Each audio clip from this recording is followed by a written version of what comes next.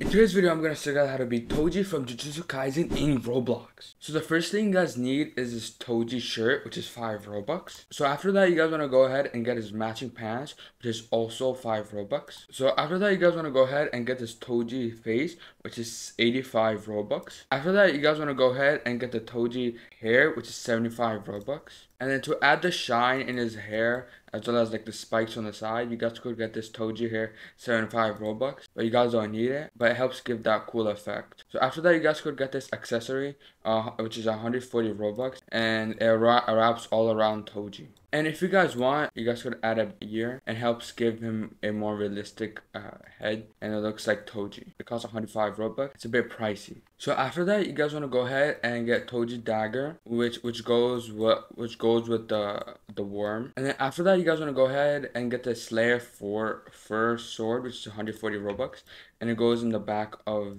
Toji. So after that, you guys could get this Gyomei's axe and thorn ball, which is 140 Robux, and it's a chain and uh, the ball. And then if you guys want, you guys could get this uh, shattered onyx aura, which adds like rocks around Toji, and it gives him more of an effect of him fighting and him in battle. And to make it even look better, you guys could get these bigger rock called Planetary Asteroid Belt, which is 90 Robux and goes all around all around Toji. So this is basically Toji. But the thing that could make his avatar look better is like an animation or like an audio pack. So get that animation of Toji about a fight and like him in his stance. You guys could get this Bardock the Conqueror pack, which is 250 Robux. And then you guys want to go ahead and equip Bardock's idle animation. So then in game it looks like he's about to fight and it makes his uh, avatar look even better and more clean. And this whole avatar costs 1261 Robux. This avatar is more pricey, but there's some stuff that you guys, you guys could remove, like uh, the